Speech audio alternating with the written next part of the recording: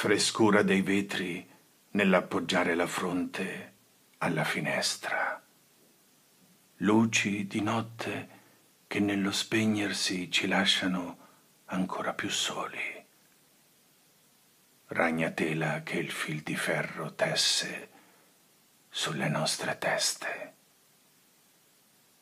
il trottare ampolloso dei ronzini che passano e ci commuovono senza una ragione.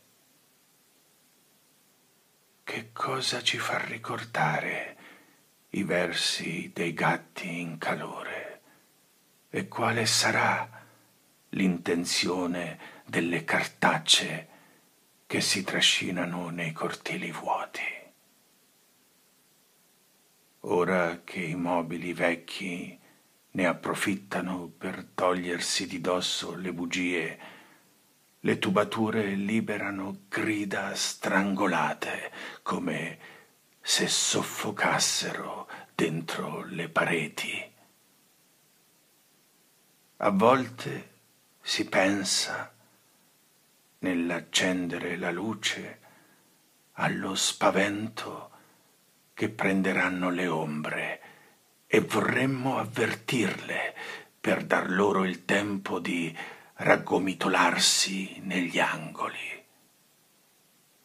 E a volte le croci dei pali del telefono sopra le nostre teste hanno qualcosa di sinistro.